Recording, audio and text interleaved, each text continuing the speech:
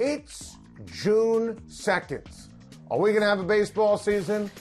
Honestly, I think that we are. I really believe that when it's all said and done, when you understand the necessity why there needs to be a baseball season, how the players and the owners need to realize that baseball will fall off a cliff. It will be defunct in terms of popularity if they don't have a campaign.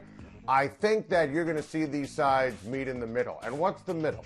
The players want 114 games as per their last proposal, according to multiple reports. The owners could implement something, and Jeff Passan from ESPN wrote this story. MLB has discussed playing a shorter schedule where players get their full pro rated salaries. And baseball wouldn't propose it, they would implement it. 50 games in the regular season. Look, I wasn't a math major in Syracuse. I took one math class. Sophomore year, probability and statistics, I got a B minus. Thank you very much. But if you look at an average of 114 and 50, hey, you're going to play baseball to the tune of about 82 games this year. What what a concept.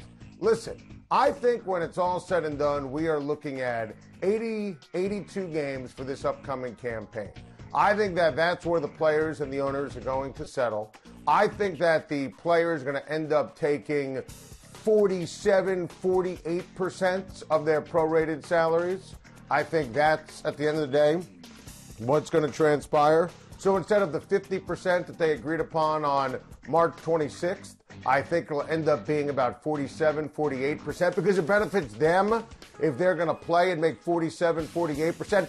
Not a case where if you make more money, you lose 70% of your salary, 80%, like they were throwing around with Mike Trout and Gerrit Cole, which was absolutely insane.